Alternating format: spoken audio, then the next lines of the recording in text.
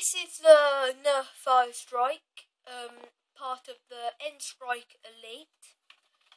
Um, it's a small gun, and you see, price range ranges from four ninety nine to eight ninety nine. It's in retail stores. It's a small, medium-sized gun, as you can see. Nice firm grip. It's quite nice, easy to pull back, solid sound. So now we're going to test it in firing. As I said, pull that back and fire it. It can go up to 20 metres, but it's also got a laser. That bit there is to turn the laser on and off. But for the laser, you will need two AAA batteries and a screwdriver, obviously. It's at the bottom here.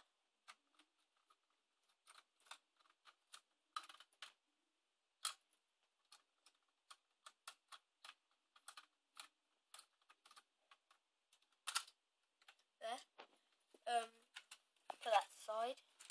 Here are my batteries, AAA. Got two out. It's that way and it's that way. No. Yeah. Put that back on. Like so And just tighten it up.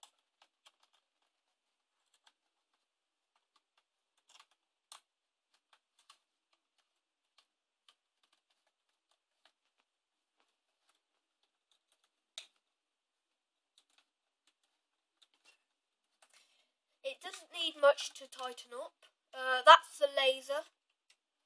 Um, as I will demonstrate there on my hand. It's there. I'm gonna use the wall and test it against the wall. That's where you hold the darts, obviously. And pull that back and use the laser about there. Bang on the laser, which is good for time practicing when aiming with the laser. Um, that's about it. It's a nice, smooth little gun and well please feel free to leave a comment or if you like the video you can press like or subscribe for our next video and thanks for watching